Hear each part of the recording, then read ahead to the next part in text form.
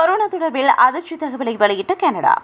ஒரு தனிநபர் கொரோனா தடுப்பூசி பெற்றுக்கொண்டாலும் பெறாவிட்டாலும் பதினாறு மாதங்களுக்கு ஒரு முறையாவது கொரோனா தொற்றுக்கு உள்ளாவார் என ஆய்வொன்றில் தெரிய வந்துள்ளது இந்த ஆய்வறிக்கை கனடாவில் உள்ள ஏல் பொது சுகாதாரம் என்ற அமைப்பினால் வெளியிடப்பட்டுள்ளது. ஒரு தனிநபர் உடலில் இயற்கையாக உள்ள நோய் எதிர்ப்பு சக்தி கொரோனா வைரஸிலிருந்து பாதுகாப்பதற்கான திறனை கொண்டிருக்கவில்லை. அதனாலேயே கொரோனா தொற்றிலிருந்து பாதுகாக்க தடுப்பூசிகளை பெற்றுக்கொள்கின்றோம். இந்த நிலையில் கொரோனா தொற்றுக்கு உள்ளாகி பூரணமாக குணமடைந்தவர்களில் ஐந்து சதவீதமானவர்கள் மூன்று மாத காலப்பகுதிக்குள் மீண்டும் தொற்றுக்குள்ளாக வாய்ப்புகள் உள்ளது.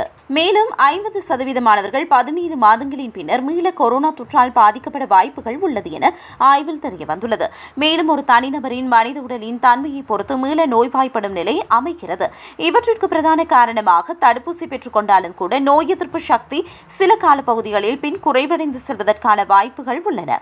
இதற்காகவே உலக சுகாதார ஸ்தாபனம் பூஸ்டர் தடுப்பூசிகளை இன்னொரு பாதுகாப்பு கவசமாக பெற்றுக்கொள்ளுமாறு அறிவுறுத்தி வருகிறது.